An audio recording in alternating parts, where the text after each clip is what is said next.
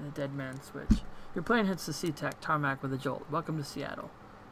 The chilly northwest rain obscures your vision, vision as you step out onto the tarmac. Before long, you're sitting in the cramped back seat of a cab, following the signal from Sam's locator chip into the heart of the Redmond Barrens. Organ grinders, a legal chop shop for body parts, whether from the living or the dead. If you're hurting bad enough for new yen, this is the place to sell a limb or an organ.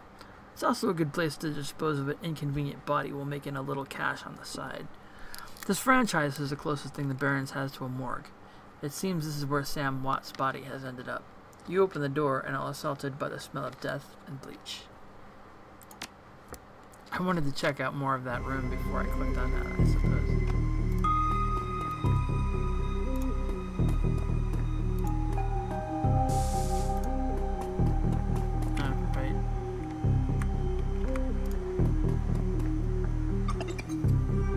Announced the new Seattle Research Division. Sources say press conference tonight at 6 PST. I don't know what they're talking about there. I can't see anything else to click on here. Employees only beyond this point. The smell of death and decomposition wash over you, only slightly masked by the minty, fake fresh of industrial grade antiseptic.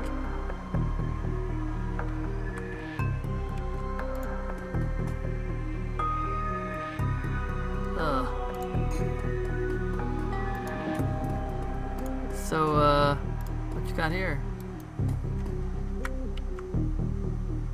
Who's that, I wonder? I don't see anything else in here to click on, so I'll just talk to Dresden. Maybe we'll check out his files. Ah, hovering over the recently departed is a small dwarf whistling a tune. His broad grin says, I love my job. A little more than you'd want or expect from someone in the chop shop trade. As you approach, he looks up with a lopsided grin. There's something kindly in his eyes, though it might just be a stray reflection of chrome and surgical tools. Sorry, didn't expect any visitors at this hour. And some asshole at corporate took my receptionist. What can I do for you, ma'am? Are you the coroner? I'm John Dresden, the organ grinders branch manager here, so yeah. That makes me this franchise's area coroner too, and you are? Nah, Myeth. I represent a man named Sam Watts, and I'm here to look into his murder. He frowns. Interesting. A dead man makes for a strange client. But what makes you think he's here? Sam had a locator chip embedded in his skull. I followed it here. I see. Well, you're right, he's here. Not too many people know about the murder yet, though. The press haven't caught wind of it yet. What with it being all the way out here in the Barrens. What's that noise? So who told you he was dead? Sam did. When his heart stopped. Uh, okay. I, I- okay. I'm not gonna tell him about the money. Sam's digital ghost. When his heart stopped, I got a sent a recorded message asking me to bring his killer to justice. Guess he had a hunch. The dwarf raises his eyebrows. A smile wiping the suspicion from his face. A dead man switch, eh? Fascinating. I was working on him earlier. He's over there.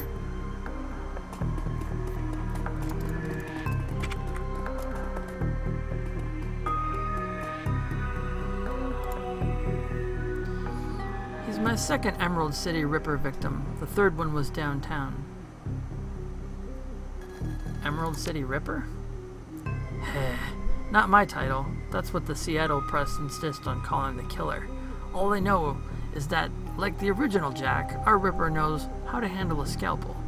But this one's even more twisted. He or she always removes an internal organ from the victim. Eh, delicious. A trophy hunter. What was it?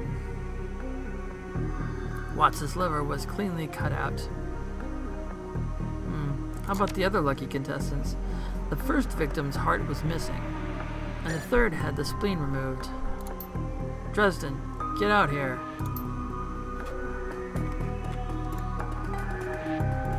I'm here about the new Ripper Vic, Sam Watts.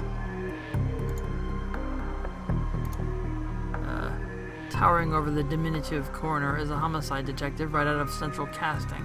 If you ignore the tusks, pointed ears, and Neanderthal brow, you can smell his cheap aftershave from a mile away. So, this new Ripper Vic Watts. Name's familiar. Didn't his mother kill herself a while back? The coroner frowns. So you insisted at the time. Come on, she offered. She offed herself. I had it on very good authority. Now let's go, Dresden. Give me something to work with here. This Ripper case is my ticket to a lieutenant's badge. I've already posted everything I know. Killer stuns the target with a combination of drugs and magic, then removes a single internal organ while they're still alive. The perpetrator is most likely right-handed, with a slim hand that knows its way around a scalpel. Has a decent understanding of human and metahuman anatomy, too. So, I'm looking out for a whacked-out surgeon. Not necessarily. I don't know any surgeons who still use scalpels anymore. These days it's all done with computer-controlled lasers. Could be anyone from a military field surgeon to an antique medicine aficionado. You're no damn help, dwarf. The Lone Star detective finally notices you. You note his superhuman powers of observation. Who the hell are you? Uh...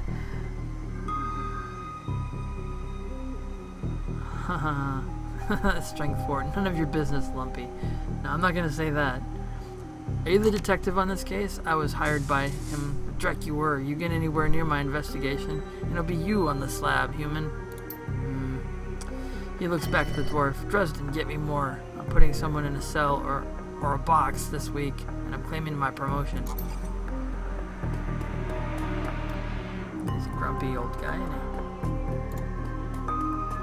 Dresden looks amused. Do you always make friends that easily? I, I'm great at dinner parties, too.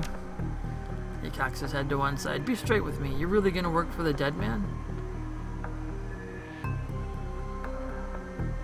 Hmm. I'm gonna bring his killer to justice, at least street justice. Fascinating again. Detective McCluskey isn't entering anything but Detective McCluskey. He can convict his own mother if it meant another 10 new yen a week in his paycheck. Plus, he's on the take. Dresden pauses, considering. You have honor, after a fashion. I'm trying to honor the dead in my work, so we have that in common. What can I do to help you? Hmm.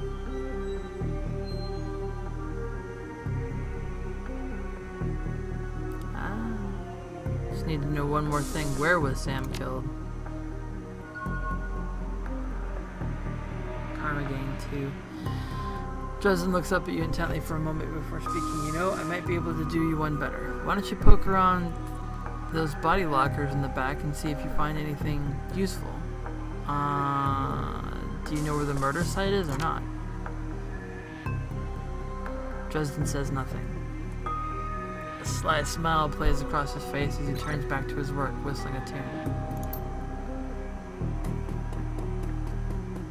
Uh. Okay, I'll check it out though. He'll probably just attack me or something. The cold storage drawer is labeled John Doe, but the internal thermostat is set to 21 degrees Celsius.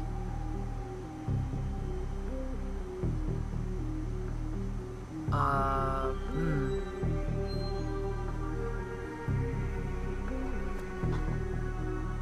Hmm. So it's probably not a John Doe inside?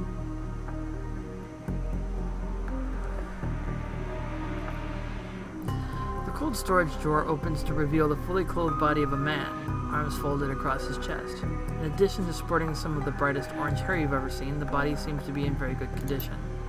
Whoa, easy there. Oh, it's he's alive, okay. In one quick move, he jumps down from the drawer and stands before you. For someone who just woke up in a morgue locker, he seems unfazed and pretty well put together. You spot a data jack drilled into his temples, and some shamanistic tattoos peeking above his collar. An interesting combination. I told John to wake me up at 6 in the morning. Is it 6 yet? It doesn't feel like 6 yet. Sorry, didn't expect you to be so alive. Yeah, Dresden thinks he's pretty funny. You're not the first person he's pulled this one on. Well, so much for a good night's sleep. On the plus side, I notice you haven't killed me yet, so that's good. If you aren't after me, then what's your story? Oh, I am looking into the death of Sam Watts. The coroner seems to think you can help me out. Sam, eh? Glad somebody cares. We used to drink together every now and then, over at the Union. Decent enough guy. Always in trouble over something or other, though. Jake yells towards the other side of the room. John, is this lady cool? Yeah, she's on the level, working for Sam. I believe it or not, some sort of dead man switch. I thought you could help her out. Maybe even stop moping about the shop all day. Huh. Thanks for volunteering me, he pauses. Might be sizing you up, but it's hard to tell behind the shades. Alright then, the name's Jake, and you are? Nice to meet you, Jake. I'm Myeth. And well mannered, too. Such a rare thing in this city. Well, it sounds like you might be taking a dive into the deep end here. John's right. I might be able to help you out. I was with Sam the other night. The night of the murder. Poor guy. He was hanging at the Seamstresses Union that night, tripped out and rowdy. I'd been laying low there for a few days after a bad run. Miss Kubota asked me to throw Sam out, so I did. But out in the alley, some gangers got the jump on me. Maybe I need some soycaf after all, John. Did you grab me a cup? Get your own damn cup. My hand's dirty anyway. Now what's wrong with this intestine? You hear a loud squelching sound as Dresden continues his work.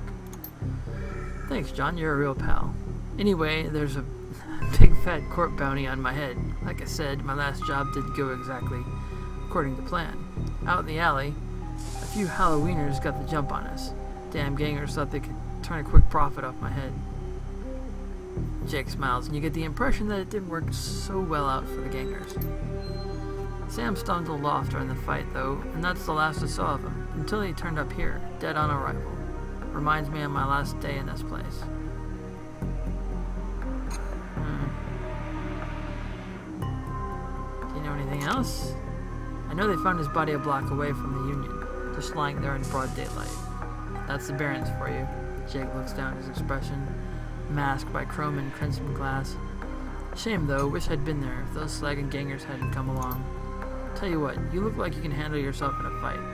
I could use some backup to settle the score with those Halloweeners out there. Their leader's got the whole gang searching the Barrens for me. I need to get rid of that asshole. And sh ugh. in return, I'll take you to the place Sam was murdered. It's not safe to hit these streets alone at night, trust me. Jake eyes you up and down, and maybe I'll throw in some decent supplies while we're at it. What do you say? Hmm.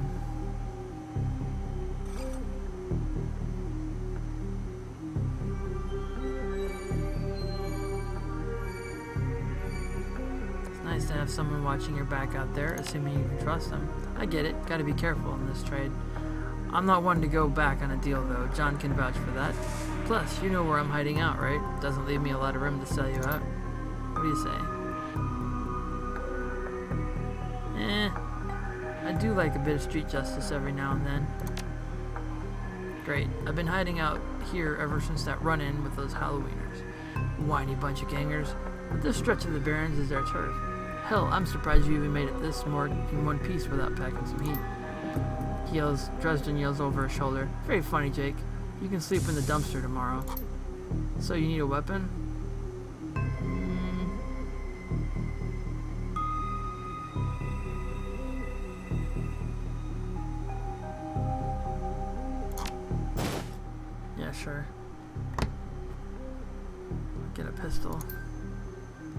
For an evening out on a town? If you're buying. hey, I've already provided the party favors. Alright, we can leave whenever you're ready. Alright, so, that was interesting. Can we... Something here. Basic med kit, yeah, okay.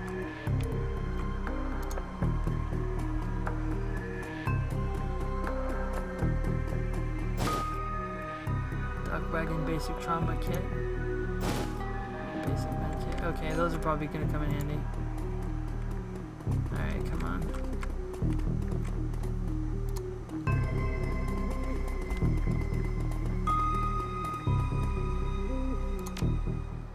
Hmm.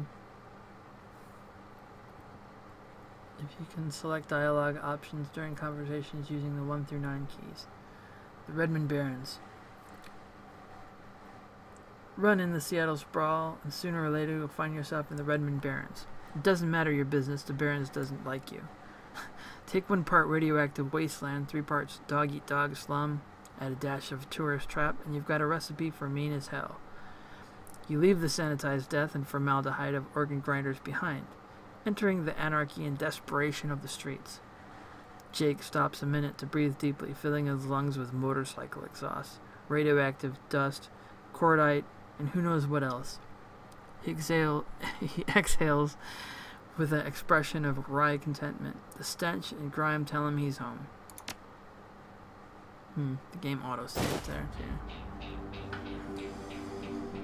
Ah, hmm. It Ellie? Oh. oh wow.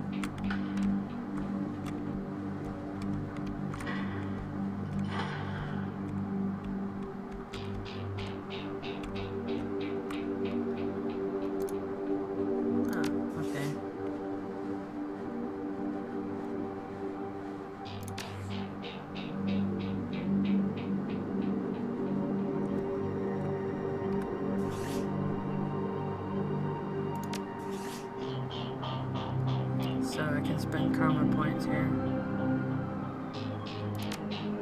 It's my weapons.